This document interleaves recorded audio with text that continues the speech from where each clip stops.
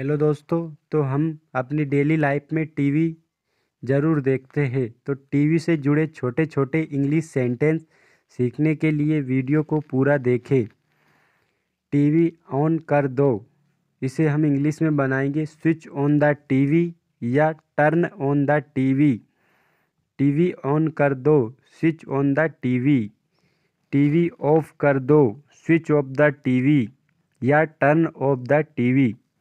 आवाज़ बढ़ा दो। Increase the volume increase the volume आवाज़ कम कर दो। Decrease the volume decrease the volume Colors लगा दो।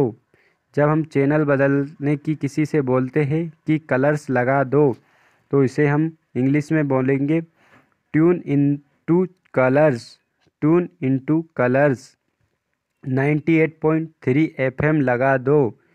Tune into 98.3 FM. TV on रहने दो। कीप द टीवी ऑन या keep the TV switched on. वह पूरे दिन टीवी में घुसा रहता है। He is engaged on TV throughout the day he is engaged on TV throughout the day अपनी आँखें खराब मत करो।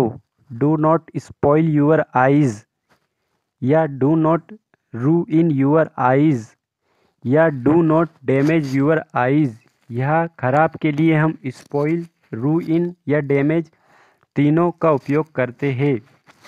जैसे, बहुत ज़्यादा टीवी देखना तुम्हारी आँखें ख़राब कर सकता है। Watching TV too much may damage your eyes बहुत ज़्यादा टीवी देखना तुम्हारी आँखें ख़राब कर सकता है। Watching TV too much may damage your eyes बहुत पास से टीवी देखना तुम्हारी आँखें ख़राब कर सकता है।